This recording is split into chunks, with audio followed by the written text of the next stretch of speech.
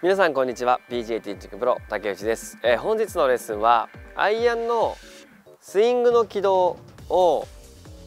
番手通りにしっかりと入れてくるといった練習をしていきます、えー、これができることで、えー、しっかりとボールをですねダウンブローに捉えて番手通りの距離を出すことが可能になってきます、え例えば5番アイアンで打った時に7番アイアンと距離が変わらないという方はですねインパクトの時にこのような形で5番アイアンのロフトでしっかりとボールを捉えていないということが言えます。今回はですねこれを解決していく練習方法をご紹介していきます。ボールの箱を用意してください。この箱を使って練習をしていきます。まずピッチングの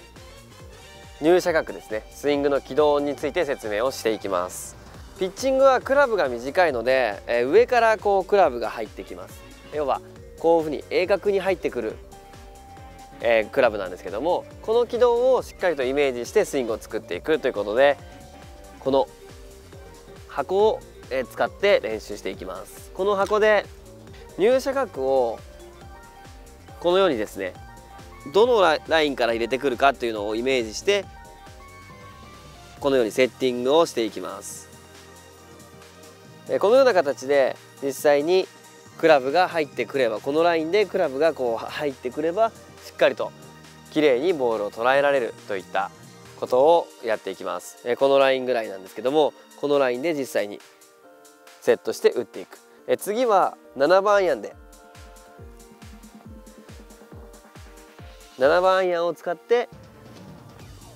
この入射角をイメージしていきます。7番アイアンの入射角というのはだいたい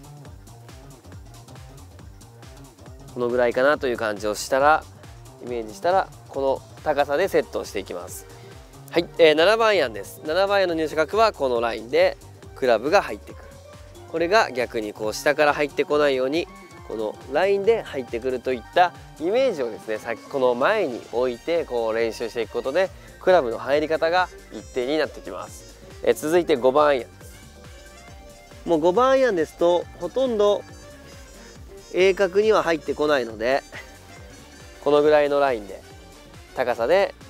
入れてくるといったイメージを持って練習していきます。今3段階の入射角の説明をさせていただきましたが、えこれはですねちょっとこの角度については人それぞれありますので、え実際にあこのぐらいのイメージでいいのかなっていうのでちょっと練習を進めてください。ただやはりクラブが長くなるにつれてクラブというのはですねこう入ってくるラインが低くなってきます、えー、またドライバーでしたら下から入って少しアッパー軌道。逆にショートアイアンは上から入ってきてダウンブロー。でフェアウェイウッドとかはレベルブローといったように、え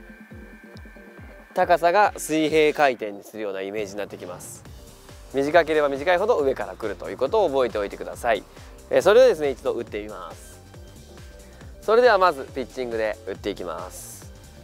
この軌道で入れてくるといったイメージを持っていきます。ここから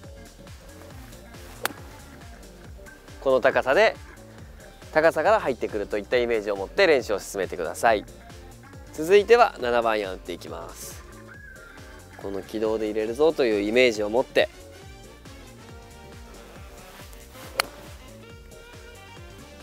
はい、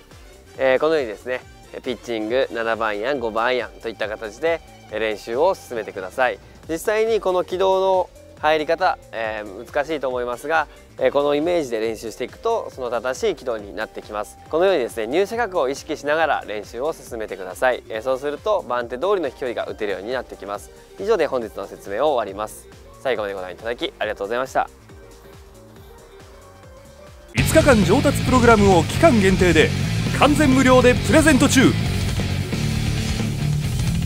いつも動画レッスンをご視聴いただきありがとうございます、えー、コメントやいつも応援してくださる皆様本当に感謝しています、えー、随時新しいレッスン動画を公開していきますのでぜひチャンネル登録をお願いいたします。また動画とテキストで学べる無料レッスンも公開しておりますので、えー、そちらもぜひゲットしてください。